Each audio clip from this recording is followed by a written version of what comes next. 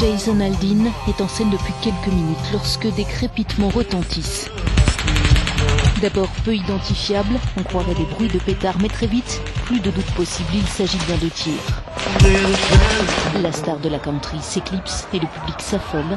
Des témoins racontent. Jason Aldean was performing. Jason Aldean se produisait depuis une dizaine de minutes et on a entendu ce qu'on pensait être des feux d'artifice. On a cru voir de la fumée sortir du Mandalay Bay.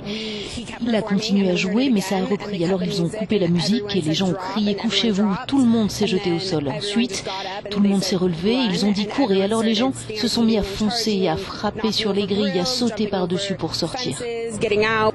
Ça a été très effrayant sur le moment. J'ai relevé ma femme et à ce moment-là, deux hommes sont passés en courant. Ils portaient une jeune femme, quelqu'un qui était en sang, qui avait sans doute reçu une balle.